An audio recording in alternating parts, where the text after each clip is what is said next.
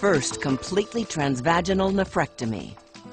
Dr. Jihad Kaouk performed the world's first completely transvaginal nephrectomy on March 13, 2009. The procedure involved inserting a small, single-channel 5mm port in the umbilicus to inflate the abdomen with carbon dioxide and thread a small scope, which visually assisted with the placement of the vaginal port.